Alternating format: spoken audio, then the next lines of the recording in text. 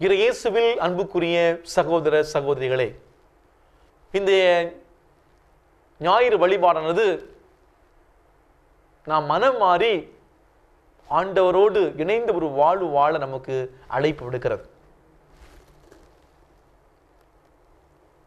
திருவருகை காலம் கடவுள் முன்னோருக்கு அளித்த வாக்குறுதிகளை நிறைவேற்றி அவர் உண்மை உள்ளவர் என்று நிரூபித்த ஒரு புனிதமான பரிசுத்தமான காலம். புற இனத்தவரும் கடவுளை பார்த்து அவரை மகிமைப்படுத்த விரும்பிய காலம். மனிதன் தன்னையே சுய ஆய்வு செய்து கொண்டு தான் கொண்டுள்ள அந்த உறவுகளை சரி செய்து கொள்ளக்கூடிய ஒரு காலம். தனக்கும் கடவுளுக்கும் தனக்கும் அயலாருக்கும் தனக்கு தானே உள்ள அன்புறவை அந்த உறவை சீதூக்கி பார்த்து சரி செய்ய வேண்டியவளை சரி செய்து வளர்க்க வேண்டியவளை இன்னும் அதிக ஆர்வத்துடன் வளர்க்க விட்டொழிக்க வேண்டியதை உடனே வரத்திற்காக ஜிபிக்கும் முயற்சிக்கும் உழைக்கும் அருளின் காலம். திருவருகை காலம் ஒரு மனமாற்றத்தின் காலம். மத்திய நட்சதி மூன்றாம் அதிகாரம் இரண்டாவது வசனத்தில் நான் வாசிக்கிறோம் மனமாறுங்கள் விண்ணரசு நெருங்கி வந்துவிட்டது. இயேசுவும் மார்க் நற்செய்தி ஒன்றாம் அதிகாரம் பதினைந்தாவது வசனத்தில் தங்களின் இறையரசு பணியை ஆரம்பிக்கின்றார். விண்ணரசு என்பது கடவுளுடன் கடவுளுக்காக கடவுளோடு கடவுள் வழியாக வாழ்வதுதான். கடவுளுடன் நாம் வாழப்போகும் அந்த அற்புத வாய்ப்பு நெருங்கி வந்துவிட்டது என்பதை உணர்ந்து அப்படிப்பட்ட கடவுள் உறவை அனுபவிக்க சிறந்த வழி மனமாற்றம்தான் என்பதை உணர்ந்தவளாய் வாழ அழைப்பதுதான் இந்த திருவருகை காலம். மனமாற்றம் என்பது இருளிலிருந்து ஒளியை நோக்கிய பாவத்திலிருந்து புனிதத்தை நோக்கிய சாவிலிருந்து வாழ்வை நோக்கிய வெறுப்பிலிருந்து அன்பை நோக்கிய ஒரு பயணம். மனமாற்றம் என்பது நம்மிலே நமக்கு பிடிக்காத விருப்பமில்லாத இஷ்டமில்லாத தீய குணங்களை தீய செயல்களை உணர்ந்து அதிலிருந்து வெளிப்படுவதுதான். நாம் நமக்குள்ளே பயணிப்பதுதான் பயணங்கள் எல்லாவற்றிலும் சிறந்த பயணம். ஆனால் அது கடினமானதும் கூட. ஏனெனில் ஒவ்வொரு மனமாற்றமும் நம்மிலிருந்து தன்னிலிருந்து ஆரம்பிக்க வேண்டும். மனமாற்றம் என்று சொல்லுகிற பொழுது மனமாற்ற மனமாற்றத்தை மொத்தம் நான்கு நிலைகளை நான் பார்க்கிறோம். மனம் மாற விரும்பக்கூடிய ஒரு மனிதன் இந்த நான்கு நிலைகளையும் மனதிலே கொண்டிருக்க வேண்டும். மனமாற்றனுடைய முதல் நிலை நாம் செய்த குற்றங்களை நியாயப்படுத்தாமல் ஏற்றுக்கொள்வதுதான். மனித பலவீனம் சூழ்நிலை சந்தர்ப்ப சூழ்நிலை. நீ என்னுடைய நிலையில் இருந்தால் இதைத்தான் செய்திருப்பாய் என்ற நுண்டிச்சாக்களை சொல்லிக்கொண்டு நாம் செய்த தவறுகளை பல வேளைகளிலே நாம் நியாயப்படுத்துகிறோம். அடுத்தவர் மீது அந்த சந்தர்ப்ப சூழ்நிலை மீது பழியை போட்டுவிட்டு நாம் தப்பித்துக் கொள்ளலாம் என்று நினைக்கிறோம். மாறாக மனம் திரும்ப விரும்புகிறவர் தான் செய்த குற்றத்திற்கு பாவத்திற்கு நான் தான் காரணம் என்று முழு பொறுப்பு ஏற்று செய்த குற்றங்களை முதலிலே ஒத்துக்கொள்ள வேண்டும். மனமாற்றனுடைய இரண்டாவது நிலை நாம் செய்த குற்றத்திற்காக பாவங்களுக்காக வருந்துவது மனஸ்தாபப்படுவது. எல்லாரும் செய்கிறதா நானும் செய்தேன் என்று சொல்லிக்கொண்டு மனசாட்சியை மழுங்கடிச்சு குற்ற உணர்வு வருத்தப்படும் உணர்வு இல்லாமல் நான் வாழும்போது நம்மளே அந்த மனமாற்றம் ஏற்படுவதே கிடையாது. மன வருத்தம் என்பது ஆன்ம அளவில் வருத்தப்பட்டு கடவுளே என்னுடைய பாவங்களால் உண்மை மனநோகம் செய்து விட்டேன் குற்றங்கள் பல செய்தேன் இப்படிப்பட்ட பாவம் செய்வதில்லை என்ற உறுதியான மனதுடன் மனதார வாழ்க்களிக்க என்று முடிவெடுப்பதுதான். உண்மையான மன வருத்தம் தான் மீட்பை தரும். கடவுளுக்கு ஏற்புள்ள முறையிலே தாங்கிக் கொள்ளப்படும் மன வருத்தம் மீட்பை தரும். மனமாற்றத்தை கொடுக்கிறது. இந்த பவுலிகளார் குருந்துக்கு எழுதிய திருமுகம் ஏழாம் அதிகாரம் பத்தாவது வசனத்தில் சொல்லுகிறார். மனமாற்றத்தினுடைய மூன்றாவது நிலை குற்றத்தை ஏற்றுக்கொண்டு மனவருந்தும் பாவி பாவத்தை விட்டுவிட தயாராக இருக்க வேண்டும். பாவத்தை விட்டுவிட வேண்டும். உதாரணமாக திருப்பாடல் ஐம்பத்தி ஒன்று மூன்று நான்கில் வாசிக்கிறோம்.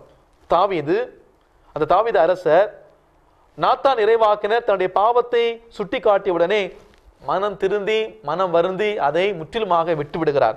இறைவா என்னுடைய குற்றங்களை நான் உணர்கிறேன். உமக்கு எதிராக நான் பாவம் செய்தேன். என் பாவக்கரைகள் எல்லாம் துடைத்திரளும்.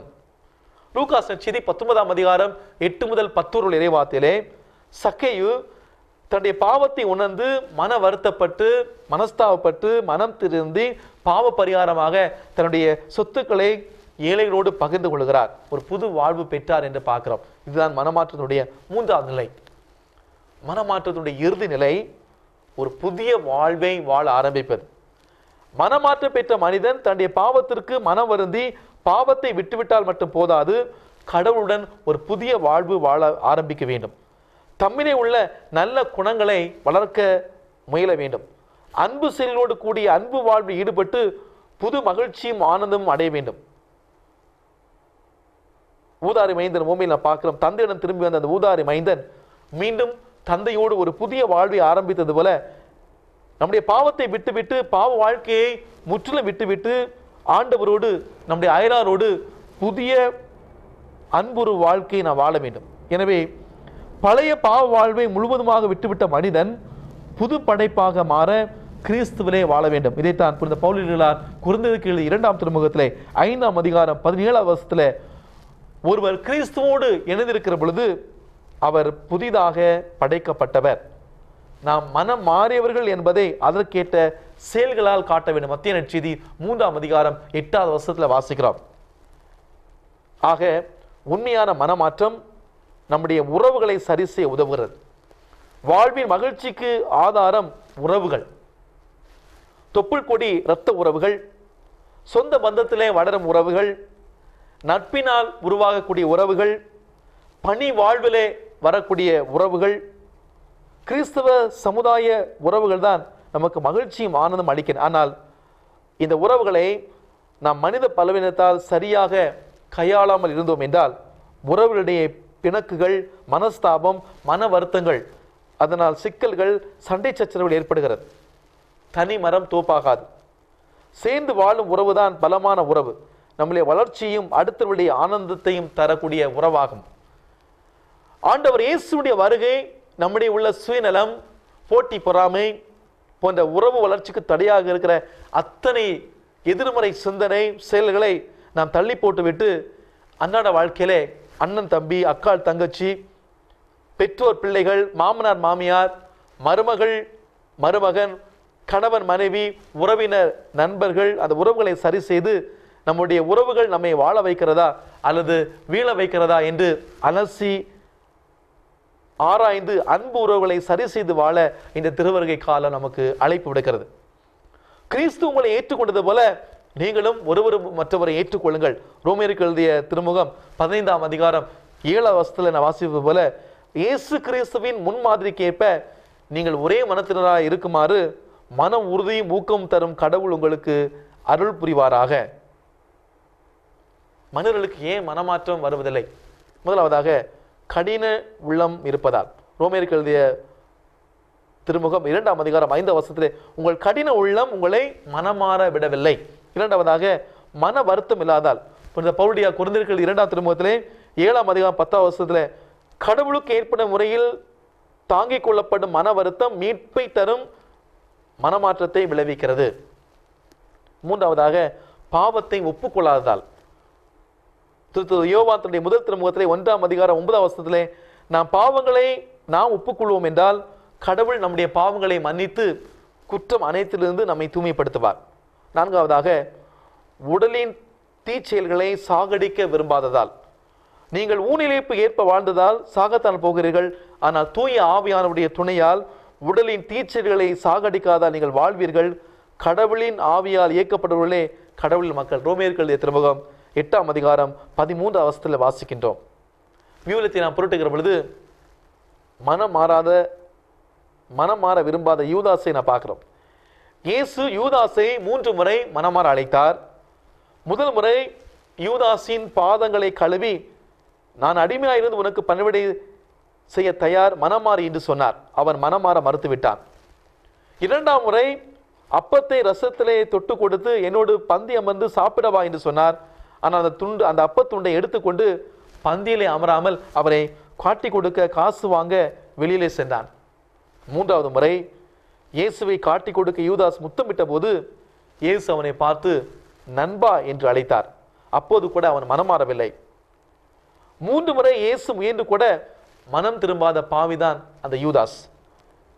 இயேசுவுக்கு பாவ முத்தம் கொடுத்து காட்டி கொடுத்தான் மனம் மாறாமல் தூக்கு போட்டு கொண்டான். அன்புக்குள் இந்த நாளிலே இறைவன் நம்ம ஒவ்வொருவருக்கும் மனம் மாற அழைப்பு விடுக்கிறார்.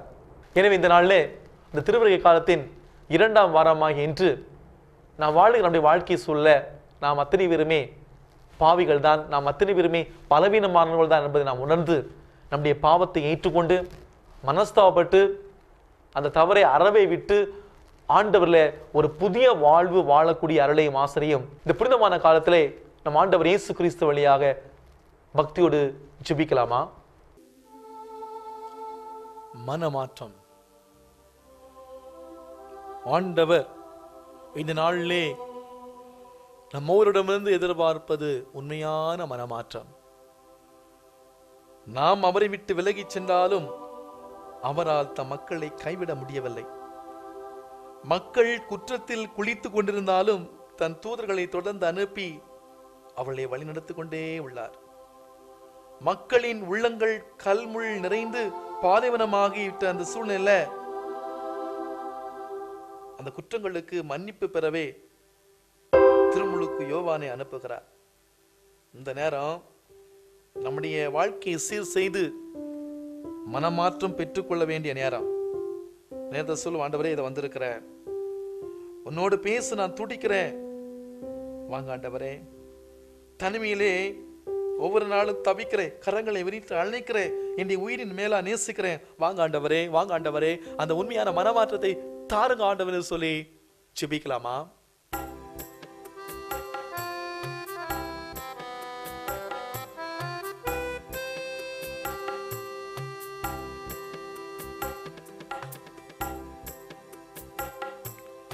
உன்னோடு பேசத்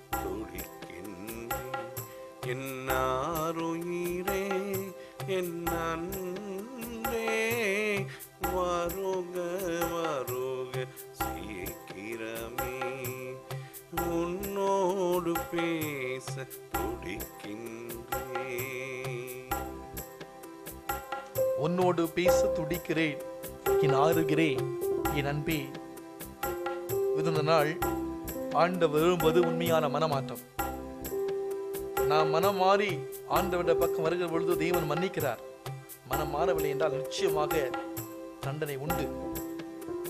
இதோ இயேசுவின் பிறப்புக்காக நம்மையே தயார் செய்கிற இந்த நாளில் இந்த நாட்களில திருவருகை கால கால திருவருகை காலத்தின் இரண்டாவது இந்த வாரத்துல சொல்லுவோம் ஆண்டவரே நான் எப்படிப்பட்ட நிலையில் இருந்தாலும் இந்த நாள்ல நான் மனமாற வந்திருக்கிறேன். இசையா புத்தகம் நாற்பத்தி மூன்று இருபத்தி ஐந்துல நான் ஆமே நான் உன் குற்றங்களை என் பொருட்டு துடைத்தொழிகிறேன். உன் பாவங்களை நினைவில் கொள்ள மாட்டேன். நீ சொன்ன அந்த வார்த்தைகளை நம்புகிற. அவளுடைய தீச்செயலை நான் மன்னித்து விடுவேன். அவருடைய பாவங்களை இனிமேல் நினைவுற மாட்டேன். இறைமையா முப்பத்தி ஒன்று முப்பத்தி நான்குல வாசிக்கிறோம் கடவுள் நம்முடைய குற்றங்களை மன்னிக்க காத்திருக்கிறார். மனம் மாறுகிற பொழுது நம்மை மன்னிக்க காத்திருக்கிறார். திருப்பாடல் எண்பத்தி ஐந்து ரெண்டுல உமது மக்களின் குற்றத்தை மன்னித்தீர். அவர்களின் பாவங்கள் அனைத்தையும் மறைத்து விட்டீர். தெய்வனுடைய பாவங்கள் அனைத்தையும் மறைத்து விட்டார். நாம மனமானோம்னா ஆண்டவர் நம்மோடு இருந்து அவருடைய பிரசித்தம் வெளிப்படுத்துவார். நாளில் ஜெபிக்கலாமா? ஜெபிக்கலாமா? தனிமையில் முழந்தால் இடுகின்றேன். கரங்களை விரித்து அழுகின்றேன். தனிமையில் முழந்தால் இடுகின்றேன். கரங்களை விரித்து எந்த நுயிரினும் மேலாய் நேசிக்கின்றே. எந்த நுயிரினும் மேலாய் நேசிக்கின்றே. வாரும் நீர் சீக்கிரம் ஆமாண்டவரே என் உயிரிலும் மேலாய் நேசிக்கிறேன். வாரும் ஆண்டவரே நீ சீக்கிரம் வாரும் ஆண்டவரே. நீ சீக்கிரம் வாரும் ஆண்டவரே. ஆண்டவரே இது நான் மனம் மாற்றம் பெற்று உம்முடைய பிரசனில் வாழ விரும்புகிறேன்.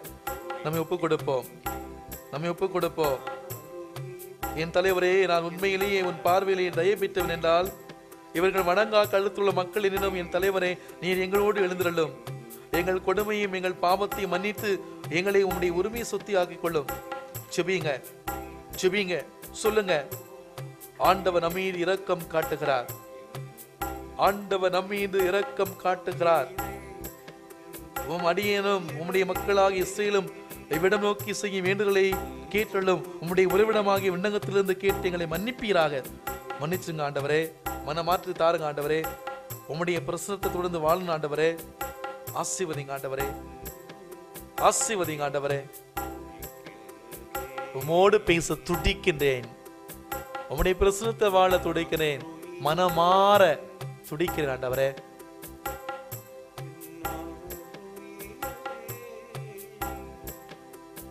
எல்லாம் வல்ல இறக்கமுள்ள இறைவன் தந்தை மகன் தூய ஆவி நம் அனைவரையும் ஆசிர்வதித்து வழி நடத்துவாராக.